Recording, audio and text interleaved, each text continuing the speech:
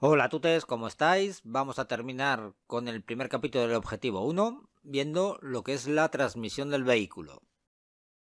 La transmisión es el sistema encargado de trasladar el movimiento giratorio generado en el motor a las ruedas motrices, cuyas bandas de rodadura, al adherirse al asfalto, sirven de punto de apoyo y las obliga a rodar. Funcionamiento de la transmisión manual. El sistema de transmisión hace llegar el movimiento del motor a las ruedas del automóvil y permite al conductor controlar su velocidad. El funcionamiento del sistema de transmisión inicia con el embrague o clutch. Está acoplado por un extremo al volante de inercia y por el otro está unido al eje principal, que transmite la potencia del motor a la contraflecha haciéndola girar. Cuando el conductor presiona el pedal, el embrague interrumpe el movimiento, permitiendo que la palanca de velocidad haga los cambios entre engranes sin dañarlos. Caja de cambios o de velocidades. La palanca mueve a los sincronizadores. Estos acoplan a los engranes de velocidad, uniéndolos al eje de salida para transferir el movimiento de la contraflecha. Cada pareja de engranes corresponde a una velocidad diferente. Engrane único. La palanca lo acopla en medio de la contraflecha y el eje de salida, invirtiendo el giro para que el vehículo se mueva en reversa. Mientras el embrague esté acoplado, todos los engranes, con excepción del único, estarán girando continuamente con su compañero. Árbol de transmisión. Es un tubo largo que está conectado al eje de salida y transfiere el movimiento a las ruedas traseras a través del diferencial. Diferencial. Es un conjunto de engranes que permite a las ruedas girar a diferente velocidad. Por ejemplo, cuando el automóvil da vuelta, la llanta interior gira menos veces que el exterior.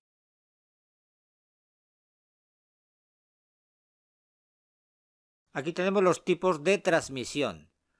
Podemos tener motor delantero longitudinal con propulsión trasera, motor trasero y propulsión trasera, también motor delantero y tracción delantera, o bien tracción total, es decir, tracción a todas las ruedas. Aquí tenemos algunas combinaciones, por ejemplo, un vehículo de cuatro ruedas con dos motrices. También podríamos tener un vehículo de seis ruedas con cuatro motrices, otra combinación cuatro ruedas y cuatro motrices, y por último tendríamos la combinación de seis ruedas y seis motrices. Elementos que forman la transmisión. Tenemos el embrague, la caja de cambios, el árbol de transmisión, el grupo cónico diferencial y los palieres. Vamos a ver cada uno de ellos. En primer lugar tenemos el embrague. Su función es acoplar o desacoplar el motor al resto de la transmisión. Para efectuar la maniobra de cambio de velocidades, el embrague es un dispositivo imprescindible una caja de cambios está formada por una serie de engranajes que giran a elevada velocidad y no puede ser accionada sin que previamente se hayan reducido muy considerablemente estas velocidades de giro hasta que los engranajes estén prácticamente inmóviles. Para lograrlo, antes de cambiar de relación de marcha, debemos desconectar el movimiento de giro que procede del motor. Esta operación corre a cargo del sistema de embrague. Como veis tenemos un montón de tipos de embrague. Por ejemplo, tenemos embragues según la composición del material de fricción del disco. De esta manera tendríamos embragues cerámicos o embragues orgánicos. Por la cantidad de discos que tenemos, sencillo doble, por el tipo de carcasa de la plancha, estampado de fundición, por el tipo de centro del disco, amortiguados o no amortiguados. También podemos clasificar los embragues por el tipo de mecanismo del plato opresor o prensa, pueden ser de diagrama o de levas o palancas. Otra clasificación sería por el tipo de accionamiento, que puede ser o mecánico, o hidráulico, o electrónico. Y en último lugar podemos clasificar los embragues por el tipo de ajuste, que puede ser manual o automático. Vamos a comenzar con el embrague de fricción o en seco. El funcionamiento es el siguiente. Uno separa dos árboles, el cigüeñal y el primario de la caja de cambios, esta separación debe efectuarse tanto si los dos árboles se hallan en movimiento como si están parados. Se trata de dos discos que se pueden acercar o alejar entre sí, de modo que cuando entran en contacto, tras un breve instante inicial de deslizamiento, quedan unidos firmemente girando solidarios. Los elementos de que dispone el embrague de fricción serían el plato de presión, el disco de embrague, pedal de embrague y la carcasa. Vamos a ver cada uno de ellos. Plato de presión sirve de acoplamiento del conjunto al volante de inercia y va montado entre el disco de fricción y la carcasa. Entre el plato de presión y la carcasa van montados los elementos de presión, que pueden ser muelles helicoidales o un diafragma. El disco del embrague transmite o no el giro del cigüeñal al eje primario de la caja de velocidades. Está situado entre el volante de inercia y el plato de presión. El embrague esté o no acoplado al motor, gira solidario siempre con el eje de entrada de la caja de cambios. Si el vehículo está en movimiento y tiene una velocidad seleccionada, el disco del embrague gira siempre esté o no pisado el pedal del embrague. Zonas del disco, bueno, pues tenemos una zona interior. La unión entre el disco y el cubo estriado se realiza mediante unos muelles cuya función es transmitir progresivamente el movimiento del volante de inercia. Y luego tendríamos una zona exterior que lleva unas guarniciones o forros con alto coeficiente de rozamiento para evitar que el embrague patine. Las dos caras del disco están recubiertas por estos forros de fricción. Por ejemplo, para comprobar si el embrague patina, se debe intentar mover el vehículo con el freno de estacionamiento accionado. Si el motor se cala, pues bueno, el embrague está bien. Sin embargo, si el motor no se cala, quiere decir que el embrague está patinando. El siguiente elemento que hemos dicho es el pedal del embrague. Cuando se suelta completamente el pedal, el movimiento del motor se transmite al eje primario de la caja de cambios, es decir, se embraga el motor. Cuando se pisa el pedal, se desembraga el motor, es decir, se desacopla el movimiento del motor del resto de la transmisión. Y por último tendríamos la carcasa o cubierta, que es la pieza que cierra exteriormente el conjunto del embrague. Y en cuanto al sistema de mando de un embrague, sería el mecanismo que sirve para accionar el embrague y puede ser de accionamiento mecánico, hidráulico, neumático o electrónico. En el accionamiento mecánico la presión se transmite a través de cables y varillas. En el accionamiento hidráulico funciona por medio de un líquido. El tapón de llenado de su depósito se encuentra junto al pedal y hay que vigilar el nivel. Accionamiento neumático funciona por aire a presión. Se utiliza en vehículos pesados. Al pisar el embrague, el aire a presión fluye a través de la válvula de mando del cilindro de acoplamiento. Y por último tendríamos el accionamiento electrónico. A través de una corriente eléctrica se genera un campo magnético que mueve el mecanismo de accionamiento del embrague.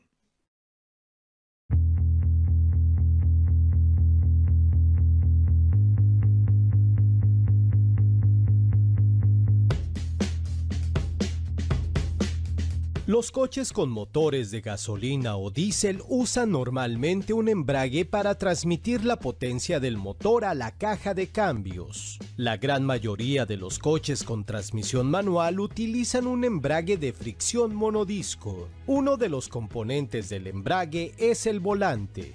El volante está conectado al motor a través del cigüeñal. El volante se compone de dientes externos que se utilizan para arrancar el motor del vehículo. Cuando se gira la llave del coche, el motor arranca con la ayuda de un piñón y de la batería. Después de un corto periodo de tiempo, el motor funciona con combustible. El volante está equipado con una superficie de fricción. El disco de fricción también tiene superficies de fricción. Cuando la superficie de fricción del volante y del disco de fricción se ponen en contacto entre sí, el disco de fricción gira.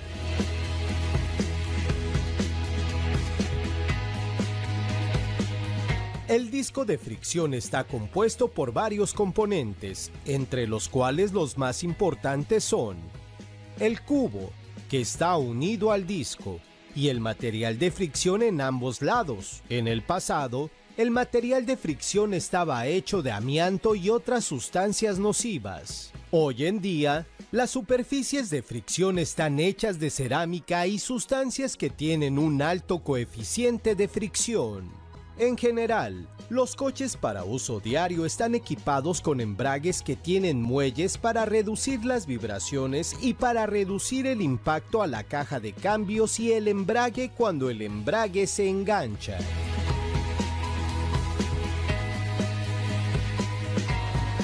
El disco de fricción se conecta a la caja de cambios a través de un eje. En consecuencia, las ruedas del vehículo solo giran cuando el volante está en contacto con el disco de fricción.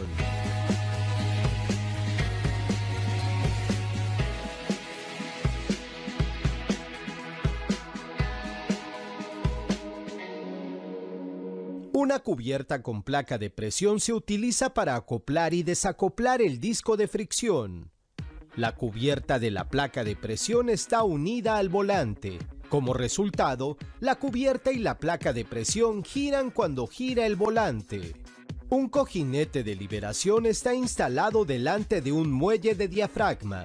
Cuando el cojinete de liberación es empujado dentro del muelle de diafragma, la parte interna del muelle de diafragma se mueve en la dirección del disco de fricción.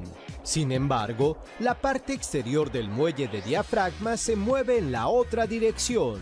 Por consiguiente, el embrague se desacopla porque la placa de presión está instalada de manera flexible. De esta manera, el disco de fricción se puede bloquear entre el volante y la placa de presión cuando el cojinete de liberación se libera y puede liberarse cuando el cojinete de liberación es empujado dentro del muelle de diafragma. La energía mecánica producida por el motor se transmite a la caja de cambios cuando se libera el cojinete de liberación.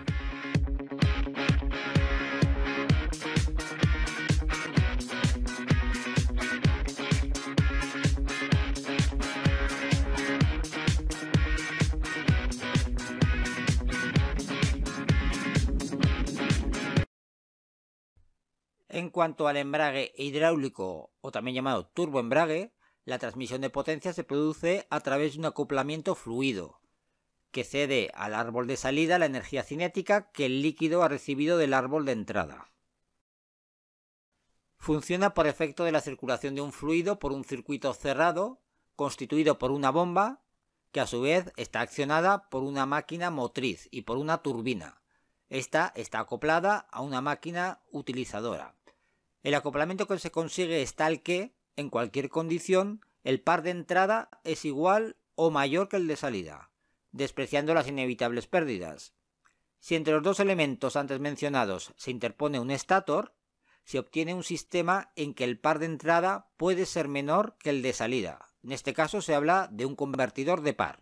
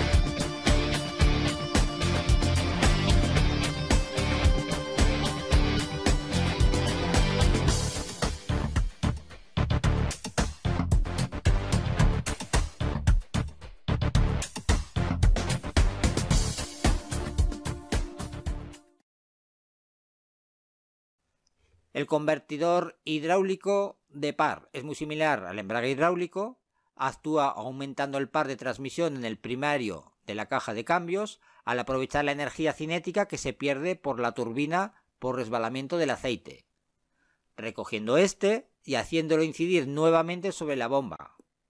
Con esto aumentará en esta el par de impulsión.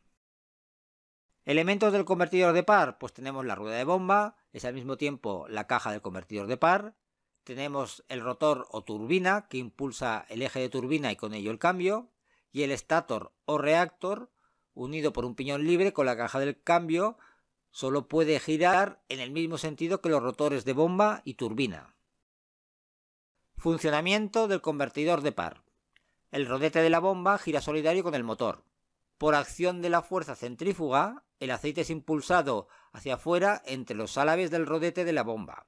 El fluido es conducido al rodete de la turbina, donde su energía cinética la absorben las paletas, las cuales hacen girar el rodete de la turbina. Cuando el fluido retorna de la turbina hacia la bomba, se encuentra con los álabes del estator, cuya disposición intenta impulsar el estator en sentido inverso que la turbina. Como el estator no puede girar en ese sentido, ya que se frena con el eje conmutador de entrada y salida del motor y transmisión, esa fuerza se suma a la provocada por la bomba, incrementando el par transmitido por el convertidor torbellino tórico.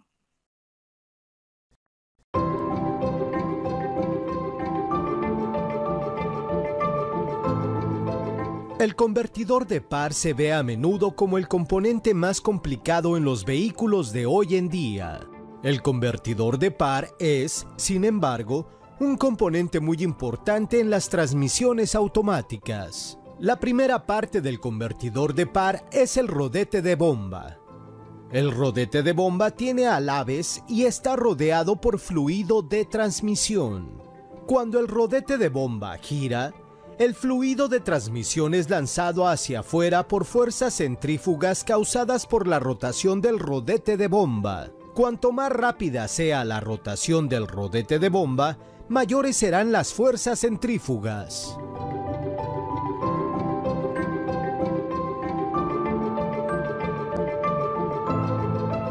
El rodete de turbina está situado opuesto al rodete de bomba. De hecho, el rodete de turbina es un rodete de bomba girado 180 grados. El flujo de fluido desde el rodete de bomba está dirigido a los alaves del rodete de turbina. En consecuencia, el rodete de turbina gira. Los alaves de color rojo son los del rodete de bomba.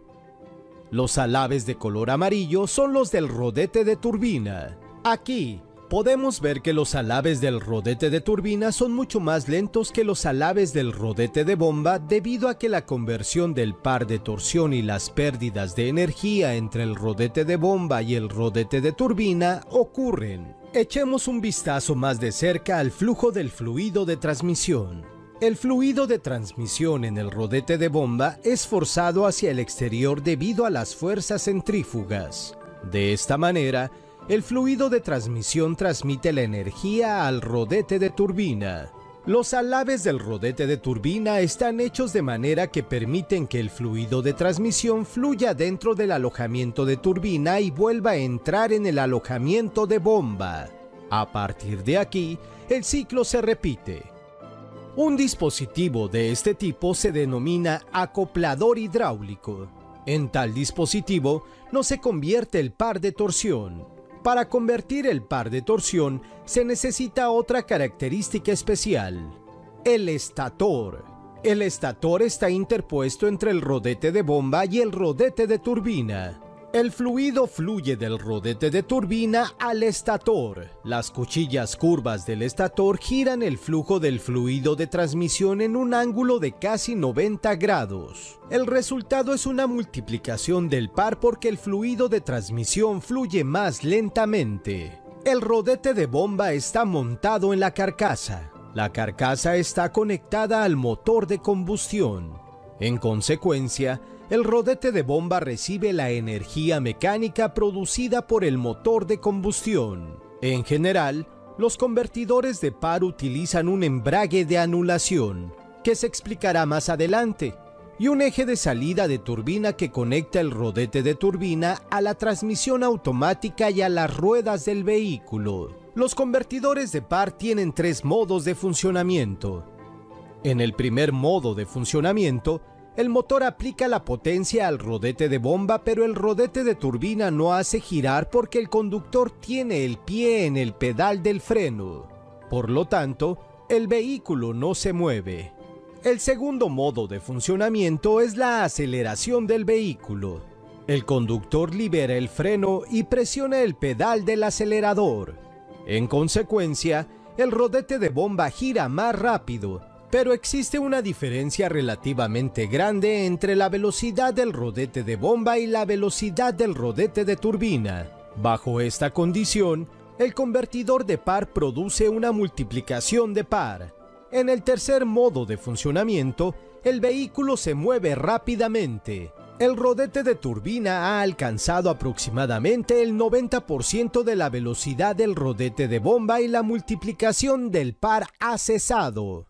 Ahora, el convertidor de par es un acoplador hidráulico simple. Los vehículos modernos utilizan en este modo de funcionamiento un embrague de anulación para bloquear el rodete de turbina al rodete de bomba. Esto elimina las pérdidas asociadas con los acoplamientos hidráulicos.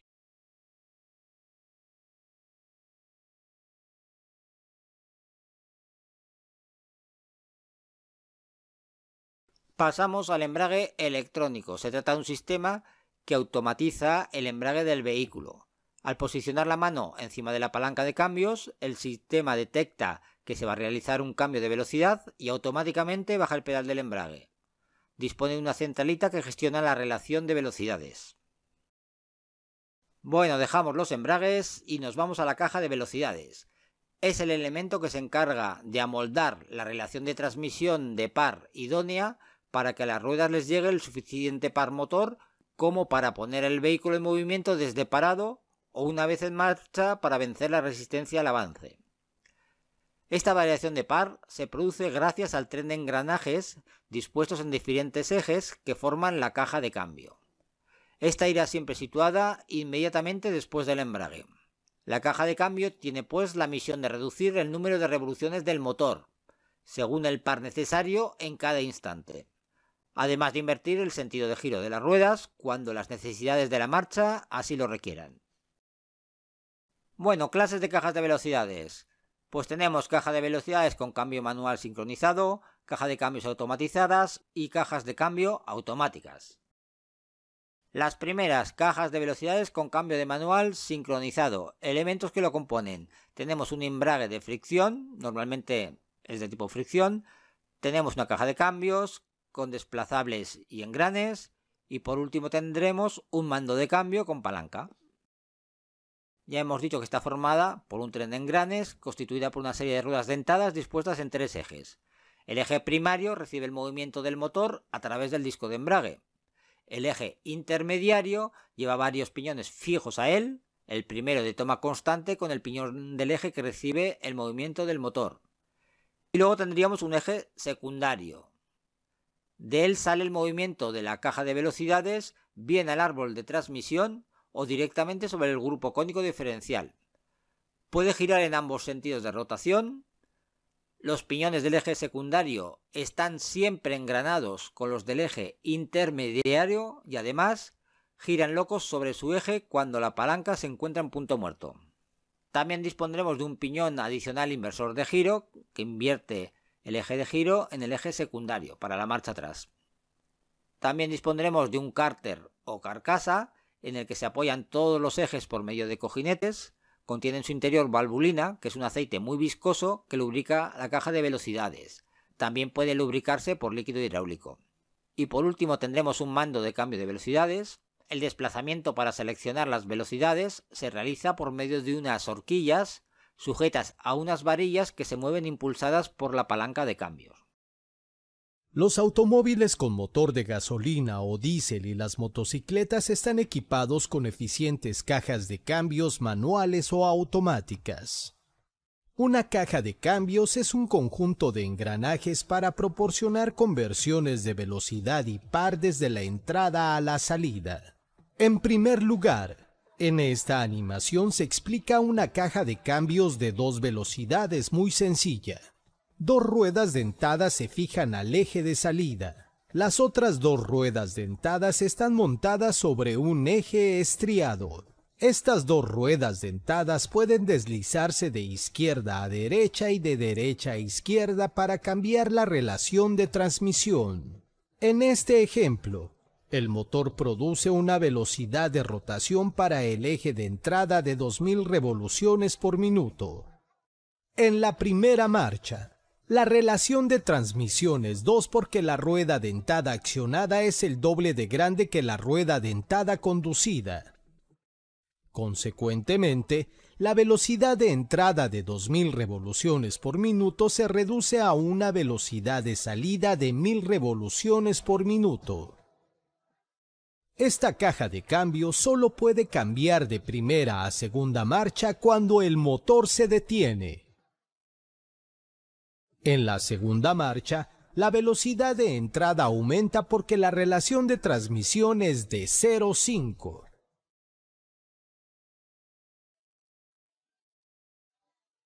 Debido a que este tipo de caja de cambios es difícil de usar, se desarrollaron cajas de cambios sincronizadas. Las cajas de cambios sincronizadas pueden cambiar de marcha fácilmente, incluso cuando el vehículo se mueve. En los coches modernos se suelen utilizar cajas de cambios de 5 o 6 velocidades. En esta animación, sin embargo, se explica una caja de cambios de cuatro velocidades muy simple. El eje de entrada o primario está conectado al motor. La energía de rotación del eje de entrada se transfiere al eje intermediario que transfiere la energía a las ruedas dentadas del eje de salida o secundario. El eje de salida está conectado a las ruedas del vehículo. La transferencia de energía entre el motor y el eje de entrada se puede ajustar con un embrague de fricción.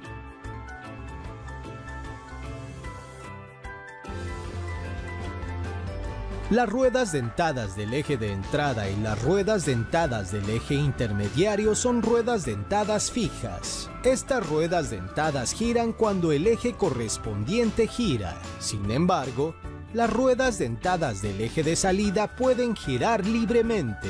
Las ruedas dentadas pueden bloquearse en el eje de salida mediante un manguito deslizante.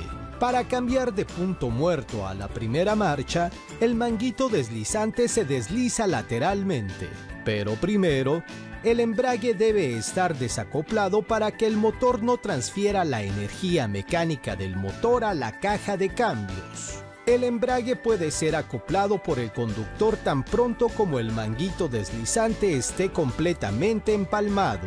Ahora, la energía producida por el motor se transfiere a la caja de cambios.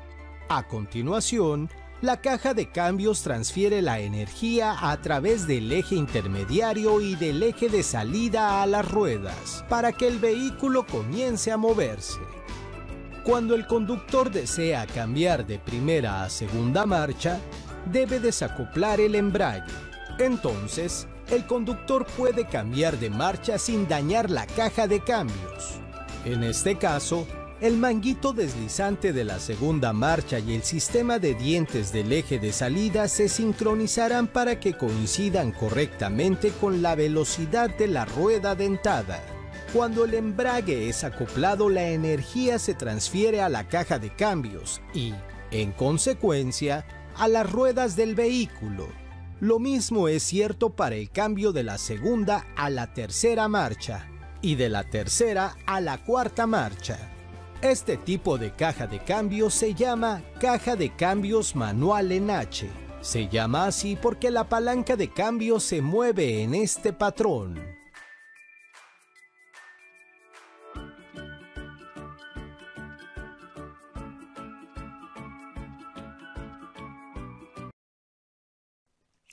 En una caja de velocidades de 5 marchas, generalmente con la primera velocidad se reducen en gran medida las revoluciones del motor, con lo que se pierde velocidad pero se gana en par motor y fuerza. Sin embargo, con la quinta velocidad se produce una multiplicación de las revoluciones del motor. La marcha atrás es la marcha más corta, por la que tiene más fuerza y más par. En los vehículos industriales, las marchas principales de las cajas de cambio sincronizado, generalmente 3 o 4, suelen duplicarse mediante un engranaje planetario pospuesto, grupo multiplicador, y o engranaje planetario antepuesto, grupo divisor. La finalidad que tiene es reducir el consumo de carburante y adaptar mejor la relación de marchas a la carga del vehículo y características de la carretera. Más cositas que tenemos que saber. En una caja de cambios manual, la condición para cambiar de marchas es que los dos elementos del cambio a conectar tengan el mismo número de revoluciones. La llamada técnica del doble embrague actualmente con los sincronizadores no es necesaria. Los sincronizadores que utilizan las cajas de velocidades de toma constante tienen como función evitar el choque de los piñones durante el cambio de velocidades. Mediante los sincronizadores se efectúan los acoplamientos de forma progresiva y disminuyendo desgastes.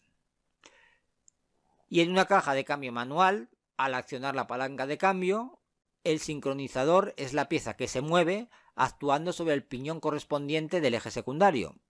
El sincronizador logra que los piñones que están a punto de engranar giren a la misma velocidad y se conecten suavemente. En cuanto a la caja de cambios automatizadas, permiten seleccionar siempre la marcha más adecuada en función de la carga, la pendiente de la vía, la exigencia del conductor, etc., ya que indican al conductor cuál es la más apropiada. Son manuales, es decir, cambia el conductor, pero al estar parametrizadas son gestionadas por el software del vehículo que sugiere la marcha. Poseen 12 o 14 marchas con embrague y pedal de embrague, y se suelen montar en vehículos que circulan principalmente por vías interurbanas. Y en cuanto a las cajas de cambio automáticas, es la más utilizada en vehículos industriales. Es un sistema de transmisión en que las distintas relaciones son seleccionadas en función de la velocidad del vehículo y del régimen del motor, sin que el conductor se vea obligado a determinar el instante del cambio de relación ni a realizar operación alguna para este fin. Estos vehículos requieren solo de una palanca para seleccionar hacia adelante o hacia atrás, y por último, la velocidad del vehículo y los cambios de relación se gobiernan directamente con el acelerador. Elementos de una caja de cambio de velocidades automática. Tenemos un convertidor de par que efectúa un enlace suave entre el motor y el mecanismo del cambio. También disponemos de un planetario de engranes satélites. Son llamados epicicloidales o planetarios, y pueden obtener diferentes relaciones de desmultiplicación sin necesidad de mover piñones ni coronas desplazables, pues las ruedas dentadas se encuentran ya perfectamente engranadas. Y por último tendríamos un mecanismo de mando hidráulico. La selección automática de las distintas relaciones de marcha en los cambios automáticos se obtiene mediante el accionamiento hidráulico de embragues y cintas de freno adecuadamente combinados, que frenan o bloquean los distintos componentes del sistema planetario. Este accionamiento de mando puede ser mecánico, hidráulico, eléctrico o una combinación de ellos. Nomenclatura en furgones y camiones pequeños. P. Parking, aparcamiento. Esta posición quiere decir que es la posición de bloqueo de estacionamiento y posición de arranque. Las ruedas propulsoras quedan ligadas al cambio en forma que no pueden girar, pero el motor puede ponerse en marcha resbalando en el convertidor. La R, reverso marcha atrás, posición de marcha atrás. La N sería neutral o punto muerto, es la posición de arranque sin bloqueo del coche. La D, marcha normal, las distintas relaciones hacia adelante engranan automáticamente en función de la velocidad y régimen de motor. El 3, posición en la que solo se puede utilizar las tres primeras marchas. La 2, segunda velocidad impuesta, solo puede utilizarse las dos primeras relaciones. 1 o L, primera velocidad impuesta o baja. Solo puede utilizarse la primera relación para uso excepcional en mal terreno o cuestas pronunciadas. Además, el conductor puede elegir entre dos programas, el estándar para arrancar en primera o invierno para arrancar en segunda, excepto si está seleccionada la posición 1. Las transmisiones automáticas están compuestas por un convertidor de par, varios embragues multidisco y frenos. Además, se utiliza un cambio Ravenio. Este cambio Ravenio tiene más relaciones de transmisión que un engranaje planetario simple. Un cambio Ravenio es un engranaje planetario doble, este engranaje planetario doble consiste en un piñón central y tres ruedas dentadas que rodean el piñón central como planetas. El eje del piñón central grande atraviesa el eje hueco del piñón central pequeño. Los planetas externos engranan con el piñón central grande, los planetas del piñón central pequeño y el anillo. Todos los planetas de la transmisión tienen un solo portaplanetas. Con este tipo de transmisión automática, se pueden conseguir cinco relaciones de cambio mediante el bloqueo de los frenos o la conexión de los componentes a través de embragues. En la primera marcha, el piñón central pequeño es accionado por el convertidor de par, que es impulsado por el motor. El portaplaneta se encuentra bloqueado por un freno o un embrague, por lo que no puede girar. El anillo está conectado a la salida y acciona las ruedas del coche. En la segunda marcha, el portaplanetas ya no es un miembro fijo del sistema. Ahora puede girar libremente. Sin embargo, el piñón central grande es bloqueado por un freno, así que no puede girar. Pero una vez más, el piñón central pequeño es la entrada del sistema y conduce el anillo. En la tercera marcha, una relación de transmisión de uno se logra bloqueando todas las partes relevantes del cambio Ravenio. Ahora todo el cambio Ravenio gira. En la cuarta marcha, el portaplanetas es la entrada. El piñón central grande se mantiene inmóvil y, de nuevo, el anillo acciona las ruedas del coche. En marcha atrás, el piñón central grande sirve como entrada. Al igual que en la primera marcha, el portaplanetas está bloqueado por un freno. El anillo es la salida. Ahora, echemos un vistazo rápido a cómo se pueden utilizar embragues multidisco para cambiar de marcha. Ambas cestas de embrague están conectadas y son accionadas por el motor siempre. Cuando se acopla uno de los embragues multidisco, la energía mecánica producida por el motor se transmite a la rueda dentada correspondiente.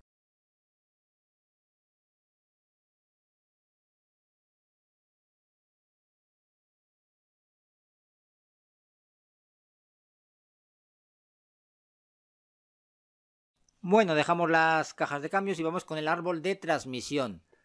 Es el elemento que lleva el movimiento desde la salida de la caja de cambios hasta el grupo cónico diferencial cuando es necesario salvar la distancia entre el motor y el eje motriz.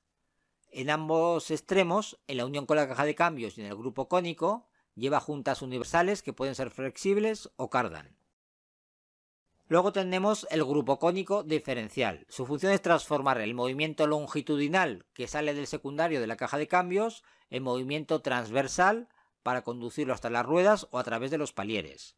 También compensa la diferencia de vueltas en cada una de las ruedas motrices durante un giro y participa en la desmultiplicación del movimiento que llega a la rueda. Elementos del diferenciar. Cárter o carcasa.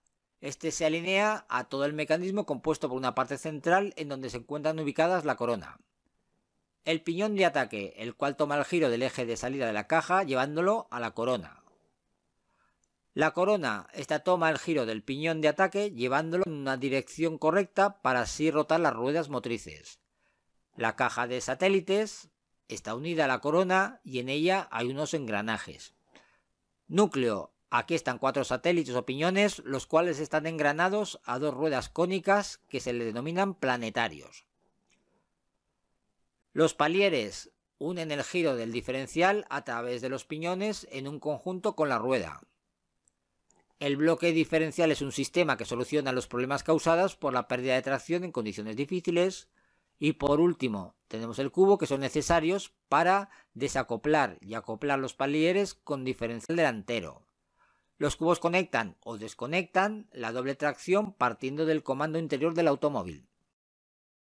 Sobre el grupo cónico tenemos que saber que desmultiplica las revoluciones del motor 3 a 1 o 6 a 1 debido a la relación existente entre sus dientes, lo cual significa un incremento del par motor en las ruedas. Para un par dado, el par que llega a las ruedas depende de la relación de transmisión entre el volante motor y las ruedas. Y el par motor de un motor de combustión es siempre menor que el par en rueda. El diferencial es una parte integral de los vehículos de cuatro ruedas. Las ruedas reciben la energía del motor a través de un eje de transmisión. La función principal del diferencial es permitir Más datos. El principal problema de un diferencial es que si una rueda propulsora pierde adherencia y patina, esta se embala y la otra no gira a falta de fuerza. La solución consiste en bloquear parcialmente en ese momento el diferencial. De esa forma ambas ruedas giran forzosamente a la misma velocidad y aunque alguna de ellas no agarrase, la otra puede sacar al vehículo de donde se encuentre. Esta acción de bloqueo se realiza automáticamente mediante el diferencial autoblocante o bien a través de la electrónica del vehículo. Es importante conocer que para la lubricación de engranajes en puentes traseros se emplean aceites minerales llamados valvulinas, que son aceites de viscosidad muy alta. Normalmente el tipo de aceite utilizado para lubricar el grupo diferencial es muy viscoso. Y los últimos elementos de la transmisión que tenemos son los palieres, que transmiten el movimiento transversal que sale del diferencial hasta las ruedas. Son rígidos, excepto en las suspensiones independientes que son articulados. Se unen por un lado a los planetarios del grupo diferencial y por el otro al cubo de la rueda. Y se encuentran en el eje motriz. Son dos palieres por cada eje motriz del vehículo. Y con esto terminamos el tema de la cadena cinemática. Nos vemos en el próximo vídeo.